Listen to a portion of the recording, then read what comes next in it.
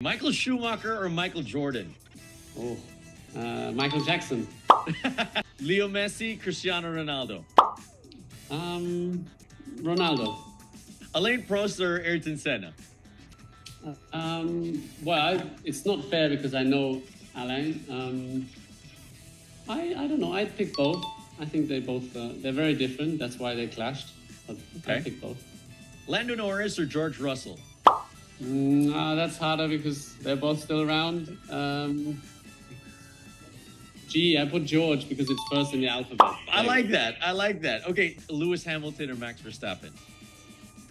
Um, well, statistically, it's always Lewis. Um, Mhm. There's a lot more to come, I think, from Max. Um, that uh, is to be seen. Um, but if you pick this year, then I think uh, Max is having an incredible year, and he's the man of the the season. So, at the And minute, if- Max.